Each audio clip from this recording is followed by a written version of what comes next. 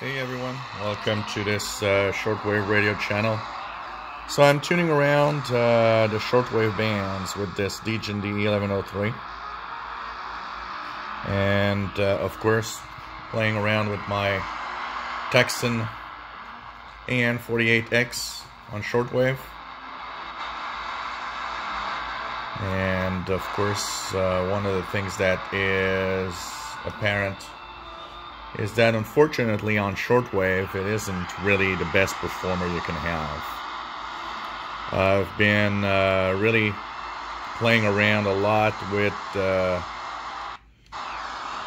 the different options and, and different frequency ranges. Let's see here.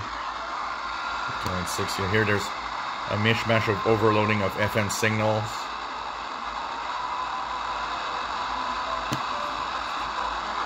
So that's probably the biggest problem of this antenna. You know, you guys know that here, uh, FM breakthrough is a big problem. And so if I quickly show you guys, the uh, antenna is right there.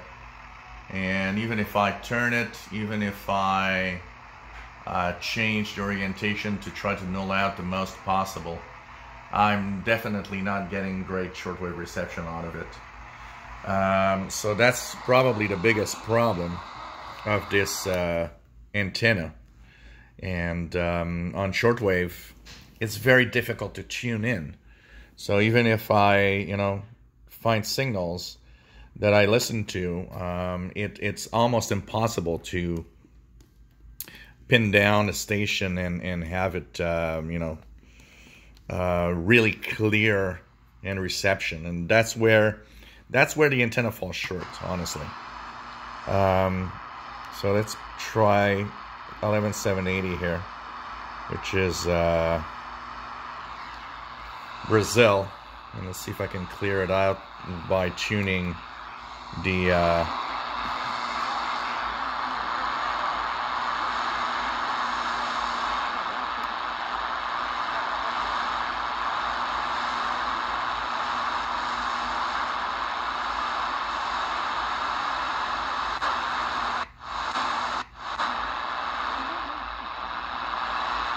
This seems to be kind of the sweet spot, but uh,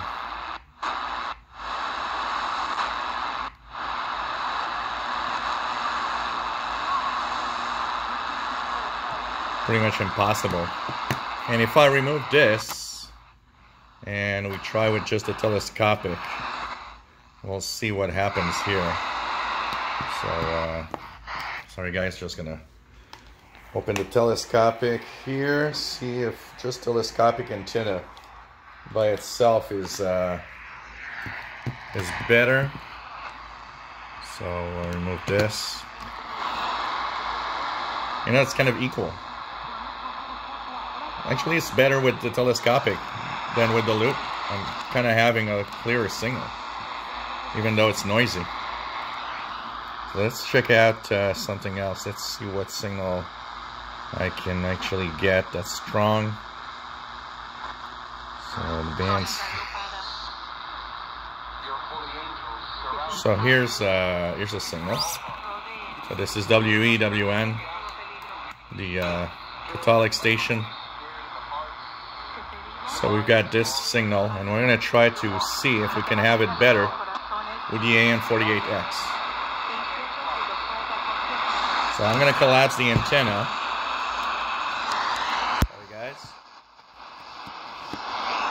I'm going to plug in the MLA30 into the antenna socket on the side of the radio. And uh, we're going to try to... There we go.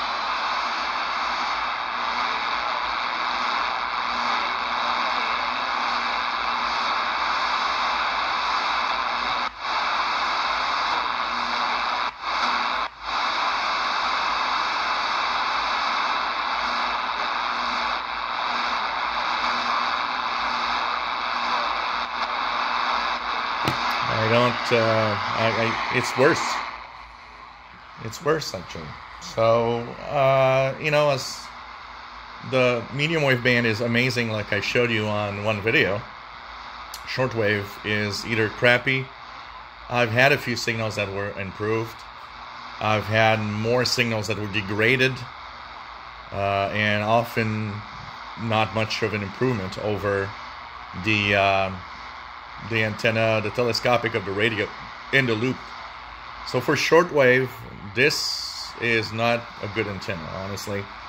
Um, I can't recommend the AN48X if you're a shortwave listener. And once again, this very long wire here is way too long and not shielded enough. It actually degrades and induces a lot more noise. Uh, I understand why it's long because it's nice to have, you know, uh, a few feet that you can actually use when you want to sit down and leave the antenna in a corner. But at the same time, it's not shielded well enough, so it's actually bringing in a lot of noise also.